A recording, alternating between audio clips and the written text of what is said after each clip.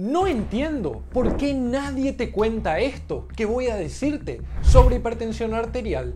Esto podría en 5 minutos resolver la mayoría de los problemas de presión alta. Es más, no entiendo por qué cuando te sentís mal y baja la guardia, te dan una pastilla, esperan 20-30 minutos o te inyectan y cuando la presión baja vos volvés a tu casa sintiéndote mejor pero repitiendo una y otra vez el ciclo. Esto ocurre todos los días en todas las guardias del planeta.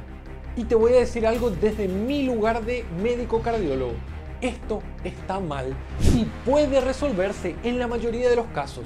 Si nosotros nos tomáramos 5 minutos para explicarte y ustedes se tomaran 5 a 10 minutos para escucharnos. Y eso es lo que vamos a hacer hoy. Por eso, si tenés algún familiar hipertenso o si te pasó esto, es muy importante esta charla. Y no va a durar más de 13-14 minutos.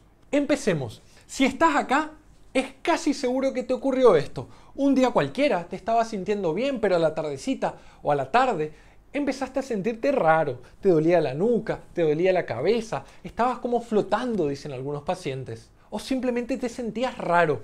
¿Qué hiciste? Te tomaste la presión. Al tomarte la presión, ¡pum! 160 de alta, 170, 180, 90, 95 la baja. Pánico. ¿Por qué? Porque pensás que probablemente pueda darte un derrame cerebral, un infarto o algo peor, la muerte.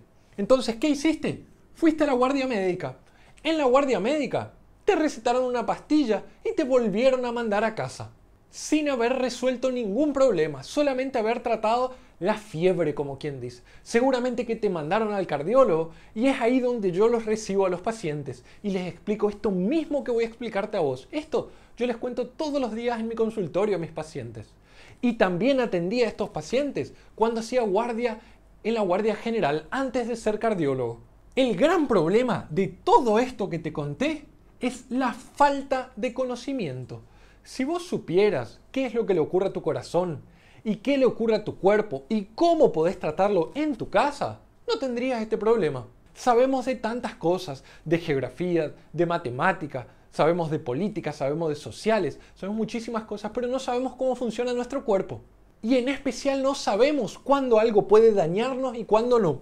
Y esto es muy simple, voy a ir bien rápido. Presión alta o hipertensión. Esta es la pregunta que tenés que hacerte. ¿Tengo la presión alta o tengo hipertensión? Déjame que te explique la diferencia. Y no, si estás pensando que compré mi título de cardiólogo, no, realicé mi residencia en uno de los mejores hospitales de la República Argentina, el Hospital Militar Central en Buenos Aires.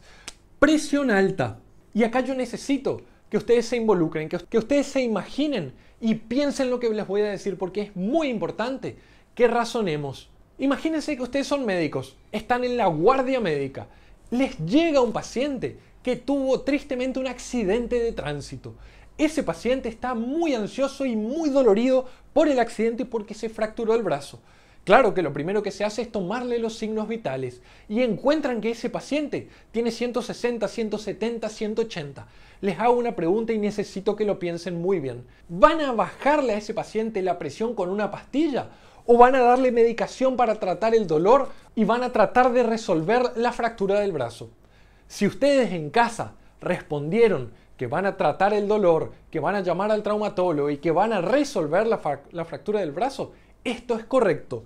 ¿Por qué? La respuesta está acá. ¿Cuál es el objetivo que tiene nuestro corazón? Nuestro corazón tiene el siguiente objetivo. Cuando nosotros estamos felices, muy felices, el nacimiento de un hijo, cuando nosotros hacemos ejercicio, cuando nosotros nos duele la cabeza, cuando nosotros tenemos una discusión o cualquier razón, el corazón trata de aumentar la cantidad de sangre en el cuerpo para que los tengas en los músculos y puedas ejercitarte, para que puedas correr o huir como quien dice. Entonces, ¿qué hace? Aumenta la cantidad de latidos por minuto, aumento de la frecuencia cardíaca, y aumenta la fuerza con la que se contrae. Esto se llama aumento del ninotropismo. Además, nuestro cuerpo va a desviar la sangre al órgano que lo necesite, cerebro, riñón, músculo, etc. Todo esto va a producir que la sangre choque contra las paredes de los vasos sanguíneos y nosotros cuando la midamos podamos medir si choca fuerte o choca despacio. Cuando choca fuerte tenemos presión alta y cuando choca despacito tenemos presión normal. ¿Qué quiere decir esto? Que tu corazón en las situaciones de todos los días va a aumentar y a disminuir la presión según las necesidades de tu cuerpo. Es decir, si esta tarde salís a caminar y subís una pendiente, va a subir la presión y está bien que lo haga. Si esta tarde tenés una discusión, va a subir la presión y está bien que lo haga. Si esta tarde te duele la cabeza mucho y te tomás la presión, vas a tener la presión alta. Si estás muy feliz, vas a tener la presión alta. Si bajas la escalera, vas a tener la presión alta. Si te ejercitas, si tomas café, si tomas mate, si fumas, casi todo aumenta la presión. Y esto no está mal, es una respuesta del organismo. Y ahí me dirás, doctor, pero yo conozco una persona que tenía 180 de presión arterial y le dio una CB, le dio un infarto. Ya te voy a explicar qué es lo que ocurre. Y no estoy loco, créeme que lo vas a entender ahora. Con este otro concepto, hipertensión. ¿Qué es la hipertensión? La hipertensión es un síndrome clínico, una enfermedad, una condición donde nuestro corazón, nuestros vasos sanguíneos, nuestro riñón y muchos otros sistemas de nuestro cuerpo no regulan correctamente la presión arterial. Es decir, el paciente siempre va a estar hipertenso independientemente de lo que esté haciendo. Y esta es la clave. Es decir, el paciente va a estar tranquilo mirando la tele, en paz, le vamos a tomar la presión y va a tener alta. ¿Alta cuánto? Más de 140, 90, según la mayoría de las guías. Algunas guías americanas dicen un poquito menos incluso. Para los que no entendieron es más de 14,9. Y esto tiene que ocurrir todos los días, todo el tiempo, porque es un error de nuestro cuerpo mantener la presión alta. Es decir, esa presión no está respondiendo a ninguna situación del cuerpo del día a día. Simplemente la presión está alta. ¿Y sabes lo que ocurre cuando la presión está alta, mantenida en el tiempo, todos los días? Se daña nuestro cerebro, se daña nuestro corazón, se dañan nuestras arterias, nuestra aorta, se daña todo nuestro cuerpo. La hipertensión mantenida en el tiempo daña nuestro cuerpo. Es por eso que nosotros, si vos vas a verme a mí al consultorio, vas a encontrar que cuando vengas y me digas, doctor, el miércoles me tomé la presión y tenía 180, por eso vine. ¿Yo qué voy a hacer? Te voy a tomar la presión en el consultorio, pero te voy a mandar a casa a que te tomes la presión 5 o 6 días porque a mí no me interesa tanto ese día que tuviste la presión alta, sino que qué pasa todos los días en la misma situación, cuando te levantás antes de tomar el café, antes de tomar el mate, a ver cómo está tu presión y ahí vamos a sacar un promedio. ¿Por qué? Porque el miércoles cuando tuviste 180 de presión, simplemente te podía doler la cabeza, pudiste dormir mal la noche anterior, pudiste haber estado angustiado. Esto es lo que le ocurre a la mayoría de los pacientes que van a la guardia y por eso no está bien bajar la presión. Imagínate ahora, al fracturado darle una pastilla para la presión y mandarla a la casa. No vas a estar resolviendo nada. En cambio, al paciente hipertenso le tenemos que dar pastillas y cambios del estilo de vida de manera continuada para que pueda seguir. Es ahí donde muchos pacientes se asustan y me dicen nuevamente, doctor, pero mi tía tuvo una CB y tenía 200 de presión. Es ahí donde yo te digo, tu tía seguramente tuvo una CB y ese ACV aumentó la presión arterial y no al revés. Y seguramente que antes ella ya tenía la presión alta por muchos años, entonces el, el cerebro se dañó. La mayoría de los ACV, de los infartos, del daño renal, del daño aórtico, no son culpa de la presión que aumentó ese día, sino de la presión que aumentó durante mucho tiempo antes. Salvo excepciones, la hipertensión no causa ACVs, salvo excepciones. Cuando la presión está exageradamente alta, hay una patología que se llama encefalopatía hipertensiva, donde la presión sí tiene la culpa. O, por ejemplo, la disección de aorta, donde la presión tan alta está rompiendo la aorta. Pero esto es raro. Y en estos casos sí bajamos la presión. En cambio, en el ACV, en el ACV común, por ejemplo, por un coágulo, nosotros ni siquiera bajamos la presión a menos que esté muy alta, porque la presión incluso va a ayudar a tu cerebro a que le llegue oxígeno. Entonces mira la diferencia. Y es ahí donde yo quiero contarte qué hacer y darte un consejo final. Supongamos, hoy te tomas la presión. Tu presión está en 170 o 17,9 y vos te sentís mal. Sentís que te duele la cabeza un poco, anoche dormiste medio mal, te sentís raro. ¿Vas a la guardia o esperas? La única razón por la que deberías ir a la guardia es si tenés síntomas de gravedad, que son dolor de pecho, falta de aire, un dolor de cabeza insoportable, el peor que viste en tu vida. Y en caso de que no tengas migraña, está claro, porque muchos pacientes tienen migraña. Que se te duerma una parte del cuerpo. Fíjate, ¿por qué te estoy mandando a la guardia en este caso? ¿Porque tenés la presión alta o porque creo que tenés otra cosa? Si respondiste porque creo que tenés otra cosa, entonces estás en lo correcto.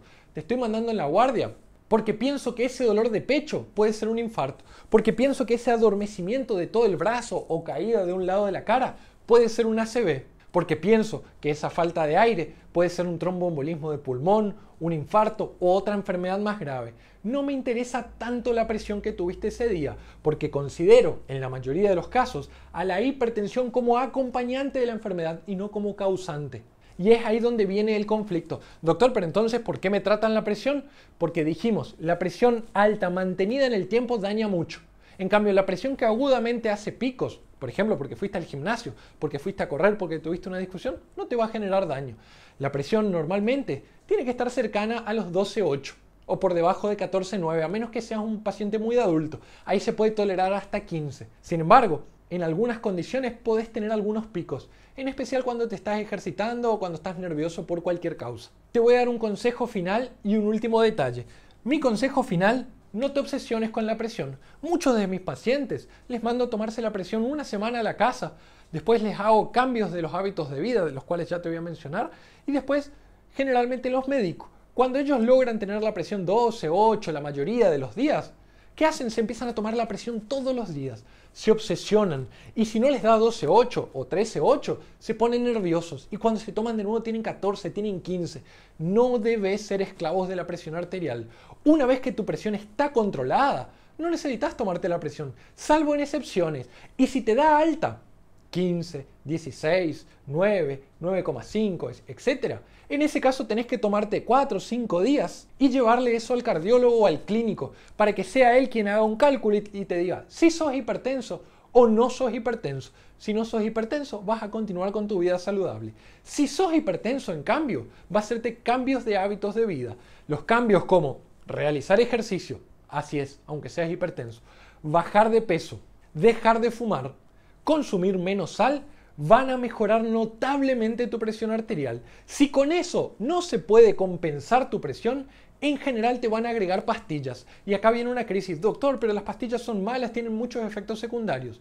Cuando tenés la presión alta todos los días, el problema es grave y va a destruir tu corazón. Mucho más grave que los efectos secundarios que podrían tener esas pastillas, que nosotros sabemos que son seguras. Es probable que tu médico comience con dos pastillas al mismo tiempo, que están mezcladas en una sola, te cite a la semana para ver cómo viene tu presión, haga un pequeño ajuste, seguramente te citará al mes y si todo está bien, luego te verá una vez cada seis meses, cada un año, según como él considere.